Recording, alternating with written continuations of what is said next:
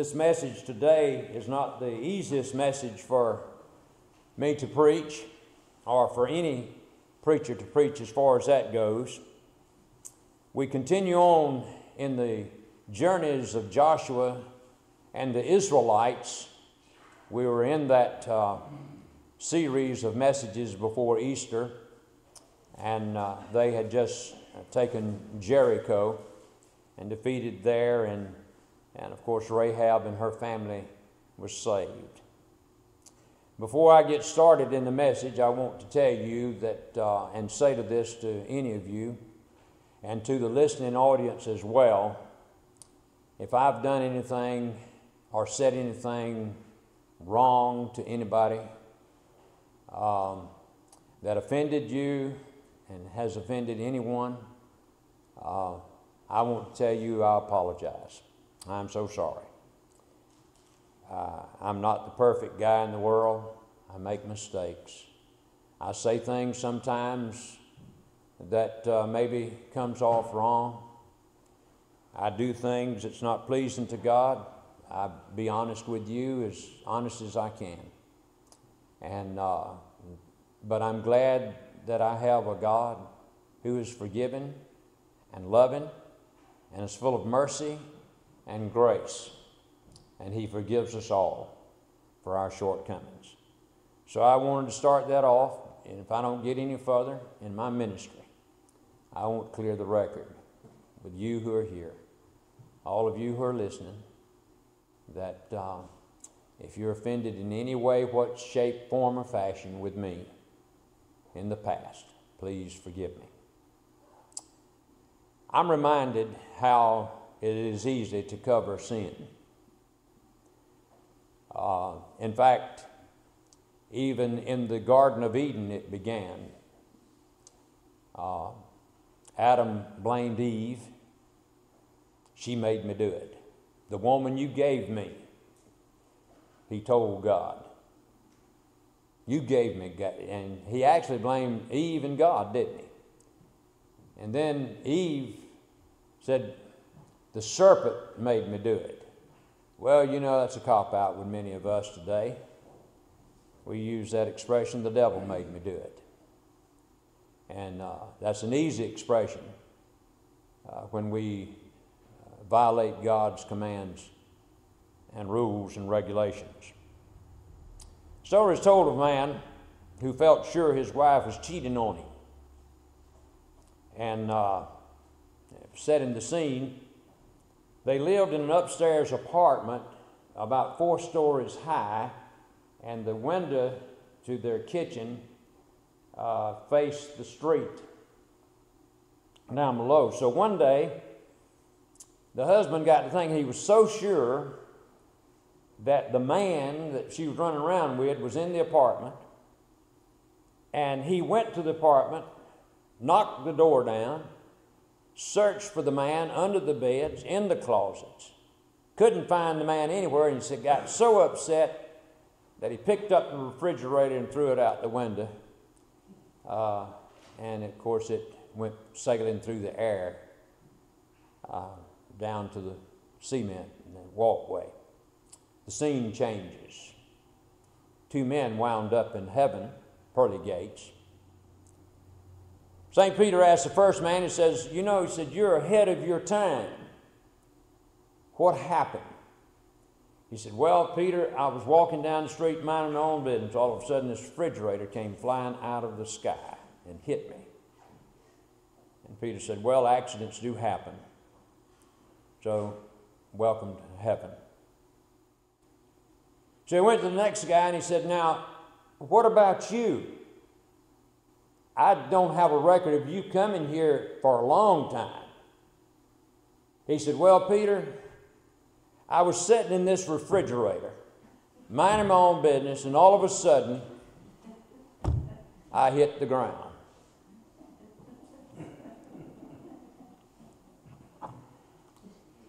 You know, the church is a wonderful place that God has instituted. One of the greatest organizations on the face of God's given earth. And it's God's instrument, the only instrument for transforming the church, the body, or the world. In other words, he uses the body of Christ, you and I who have been saved, to reach those people who need to be reached and who are lost. But at its best, it is the greatest thing in the world. But I look around and I want to tell you, it, it disturbs me and it breaks my heart because I see so many churches in decline. I read about pastors who've been in the ministry for years who've become discouraged and despondent and ready to throw up their hands and just get out of the ministry whatsoever. I talked to one fellow minister not long ago and said, Wayne, he said, he said, I did not realize being a pastor would put so much pressure on my life. He said, I've tried to do everything I could as a good pastor. But it seems like the more I do, the more good I do, the worse things get. He said, I'm just to a point that I'm tired. But I see men and women called by God also to serve in the ministries, and I see them struggling. I see churches filled with conflict. And it don't take a rocket science to see churches and pastors who stand in the pulpits who preach anything but the truth. And I wonder why. Why can't the church be what God called us to be?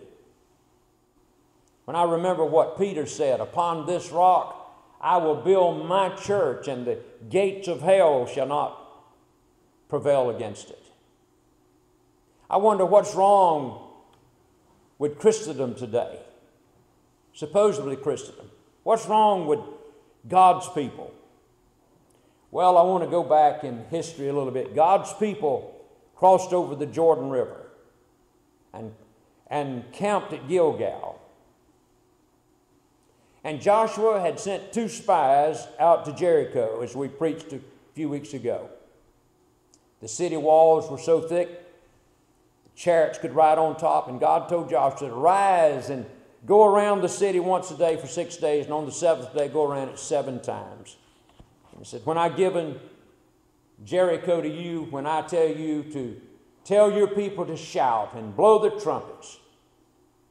Israel did as God commanded. And for six days they marched. And for the seventh day they marched seven times. And they blew the horns and shouted, and the walls came falling down. But a few days later, Joshua sent spies to look out the city of Ai.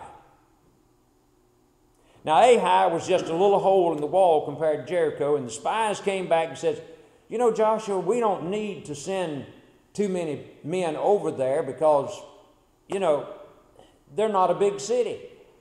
We could take a couple thousand or three thousand of our men, go over there and wipe them out and be done with it. And Joshua sent 3,000 men or so, and they were defeated. 36 of their men was killed. It brought fear in the hearts of the Israelites, and they ran from that little city of Ai. Joshua fell on his face. Why, God?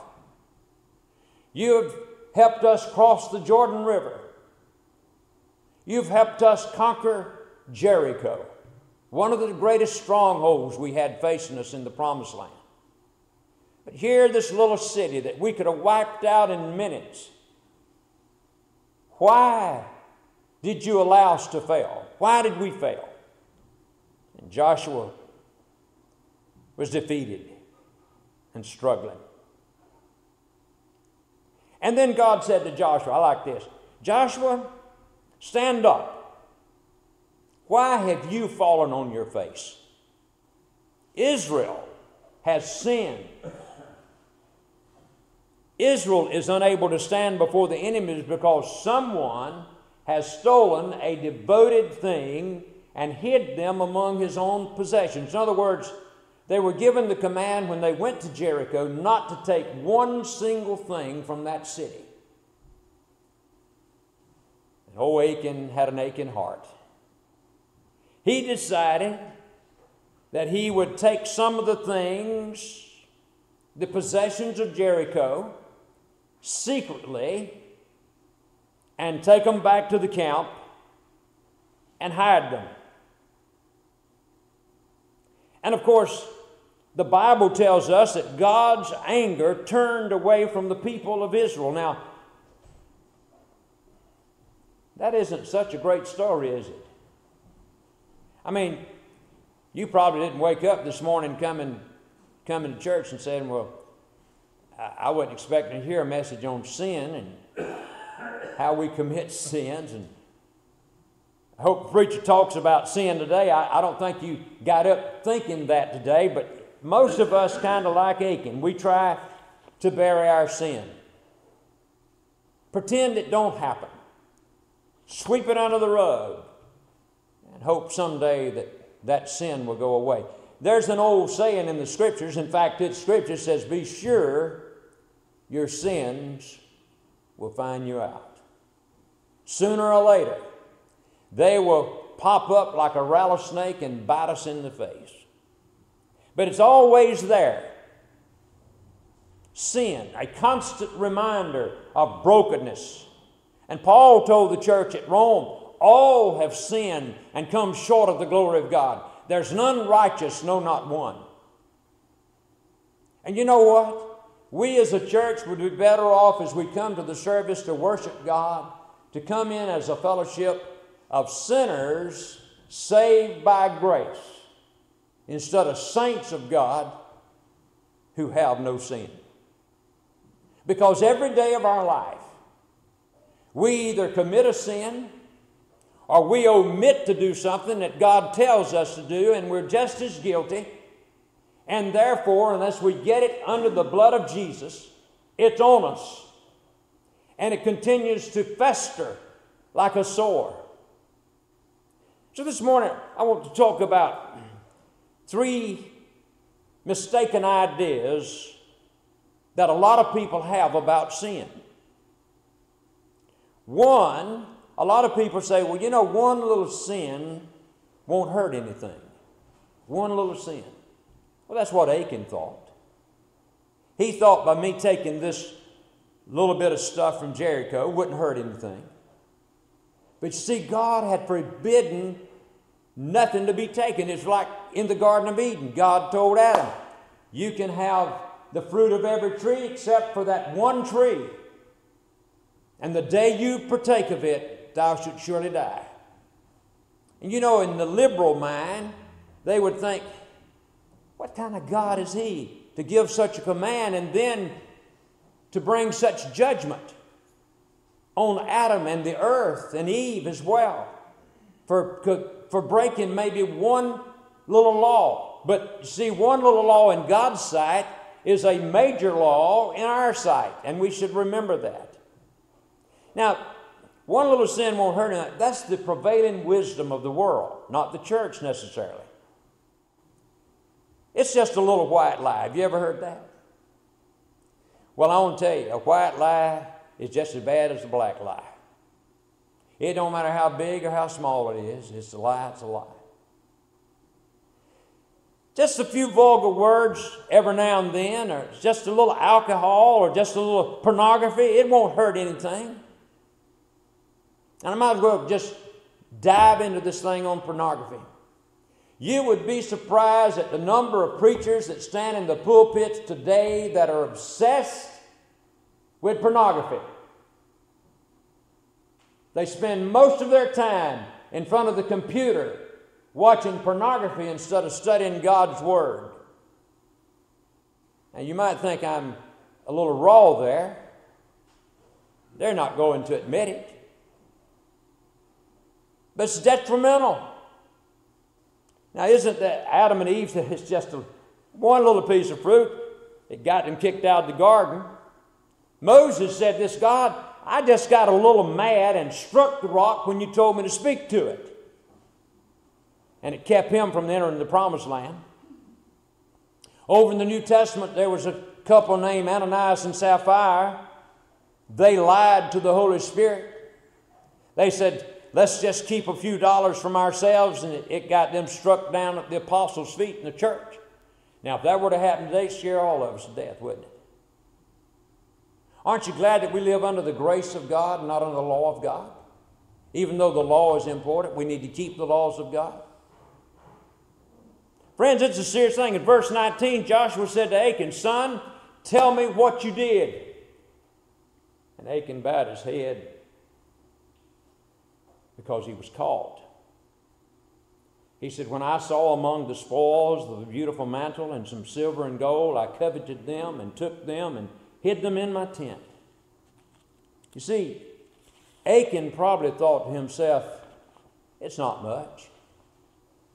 I only took a little bit, but it isn't the size of the sin that makes it so serious. You know what it is? It's the sin itself. Small, medium, supersize, it doesn't matter. It's the sin itself that makes it serious. One little sin breaks the heart of God. You, you ever thought about that? From our point of view, it may seem small, but from God's point of view, a view of disobedience is disobedience. One little sin is a very serious thing in the sight of God. Why? Because He's a holy God, a righteous God. And He wants His people to be holy, He wants His people to be righteous. And I want to tell you, there's no excuse in the world, in the books, that every child of God lays his head down on the pillow at night, cannot confess whatever wrong he's done that day, and sleep in peace. Why? Because Jesus gave us that promise. If we'll confess our sin, He's just and faithful to forgive us and to cleanse us from all our unrighteousness. Isn't that a great promise? And then another thought that a lot of people say, says, you know, my sin is my business. Nobody else. Nobody else's business. That's the prevailing wisdom of the world. My sin, my addiction, my domestic abuse, my lifestyle is my business. It might be wrong, but I'm not hurting anybody but me. I wonder if that's what Achan thought. Well, it might be wrong, but it's my business. But Achan's sin affected not just himself and his family, but it affected the entire nation of Israel. Israel went into battle with sin in the camp and they were stopped dead in the tracks. You know, Paul's favorite analogy for the church was the body of Christ. Now, listen. When he wrote to the church at Corinth, he had to address a serious situation. Now, listen to what was going on. There was a man in the church who was living with his father's wife. There were people in the church who were doing being selfish and arrogant and rude, and Paul writes and basically says, Your sin is tearing the church apart. Your sin is affecting the whole church. That's why John Wesley gathered those early Methodists in classes and bands to watch over one another in love and help one another work out their salvation with fear and trembling. Aren't you glad for people like John Wesley? They held one another accountable. They loved one another enough to look each other in the eyes and say, How is it with your soul? I never will forget in all of my ministerial meetings that I had when Hugh Davis was district superintendent. Every meeting we had, he would go around the room and ask us personally, How is it with your soul? So that question is before us this morning. How is it with our soul? And if someone refused to acknowledge their sin and repent back then, they loved one another to, enough to confront them. You see, my sin is bigger than me. If I commit a sin, guess what? It just doesn't affect me, it affects the entire church. And that's how it is with anybody else in the church. If you commit a sin, it just doesn't affect you, it affects the entire body of Christ that you're a part of. And a lot of people can't see that. Well, it's my sin, my business. Nobody has to know about it. And then another misconception is you can keep your sin secret. back in the day, back many years ago, there was a man named Lynn House. He played football for the Washington Redskins. And uh, he made a statement one time about breaking curfew.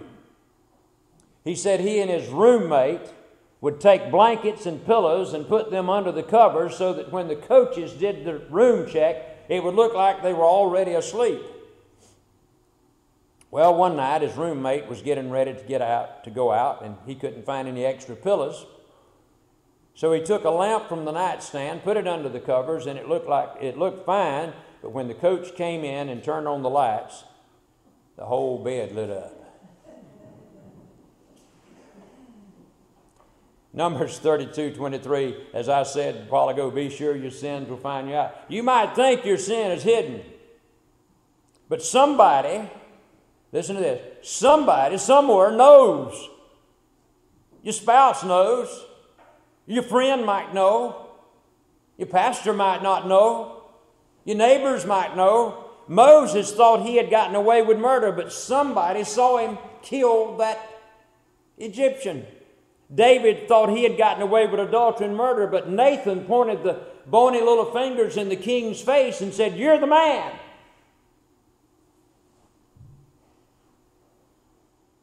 I want to tell you, politics is nasty today. Y'all agree with that?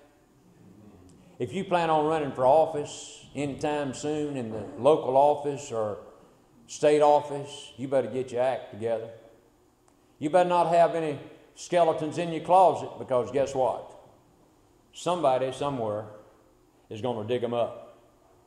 Now, I wouldn't run for dog catcher in the city because I have too many skeletons in my closet and somebody somewhere knows where they are.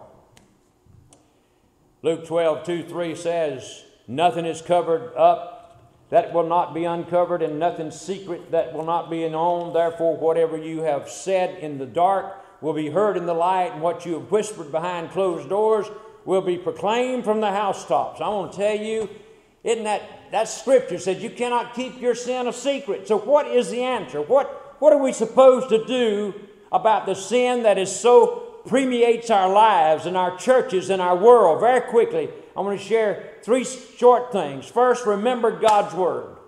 Before the Israelites marched around the city of Jericho, God said, Don't touch any of the thing in the city, destroy everything. But Achan forgot God's word. And that's the problem today. We look at God's word and we just, you know, we pass it over like a dish rack. Dish rack. Oh, it's just something to lay on the mantelpiece, lay on the coffee table, or lay, lay by our bedstand, but we hardly ever open it to read. Study to show thyself approved, a workman that needeth not be ashamed, rightly dividing the word of truth.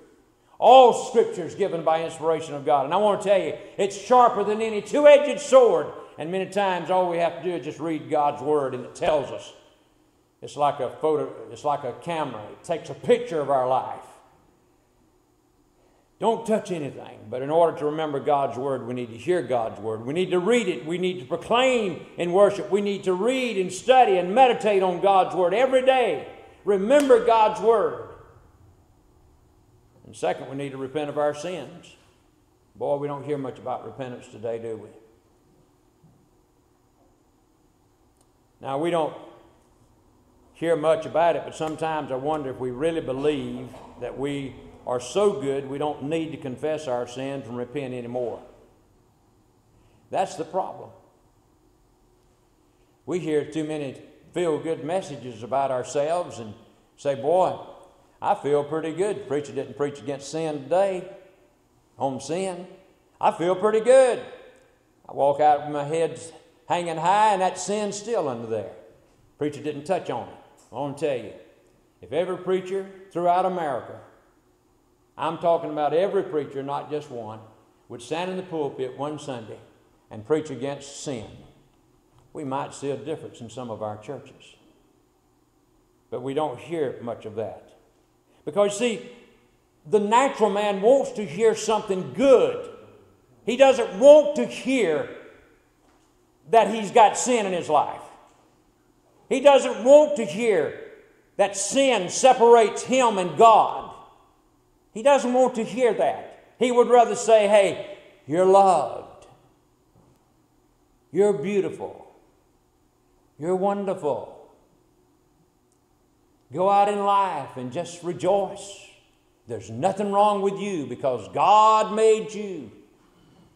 And you're precious in His sight. Well, we are. But I want to tell you sin separates us from that loving God. And third and lastly, we need to renew our commitment. It's not bad to fall down. Everybody's fallen sometime or another. To fall short of God's glory, everybody does it. We're all broken. We all sin and fall short of God's glory. The bad thing is that when we continue to wallow around in the pig pen instead of getting up and getting on with our commandment, uh, commitments to God, we have a problem. I want to tell you this you lay down in the slop pen with the pigs and you'll come up smelling like pigs. Emmitt Smith is all time leading rusher in NFL history. Read a story about him. In 15 seasons, he carried the ball, ran for 4,409 times, 18,355 yards. That's an average of 4.2 yards every time he touched the ball. Now, listen to this. You know what that tells me? Emmitt Smith got knocked down 4,409 times every 4.2 yards. Emmitt Smith got knocked down, but he kept getting up, dusting himself off, running back to the huddle to do it all again. No, it's not a bad thing to fall down every once in a while, but you've got to keep getting up, dusting yourself off with the precious blood of Jesus and getting back in the game. In Revelation 2, Jesus told the church at Ephesus, Remember, repent, and continue to do all the things you did at first. Renew the commitment. After Achan and his family and all their possessions were destroyed, God said to Joshua, Take all your men against the city of Ai now, and don't be worried. I have handed you the city, and you'll destroy it within minutes. And he did. Why? Because sin was no longer in the camp. I don't know about you.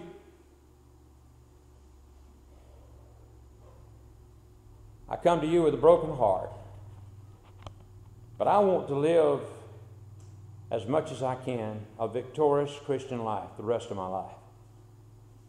I want to do everything that I can for the glory of God. And whatever time I have left, I don't want anything that I do or anything that I don't do interfere with God's purposes and God's plan for my life. And certainly, I don't want my life to be a stumbling block to any of you to where you can't carry out your plan for God. So I've got to deal with sin in my life. And yes, as a pastor, we've got to deal with sin in our churches. And so I wonder are you victorious? Are you living a constant life of defeat and discouragement? Things can change today, right now, right here, this very moment. God can do a deeper work of love in your heart and grace within us and myself and among us this morning. So, the question as we come to a close will you let Him do it? In Christ's name. This is the day that the Lord hath made. We will rejoice and be glad in it. Please stand together.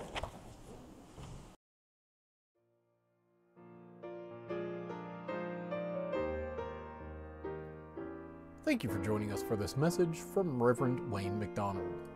We would like to take this time to invite you to learn more about our churches by visiting us at calvarycharge.com or by following us on Facebook at Calvary Bethel Centennial.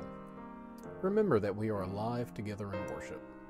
As Ephesians 2 4 through 5 says, But because of his great love for us, God, who is rich in mercy, made us alive with Christ even when we were dead in transgressions. It is by grace you have been saved.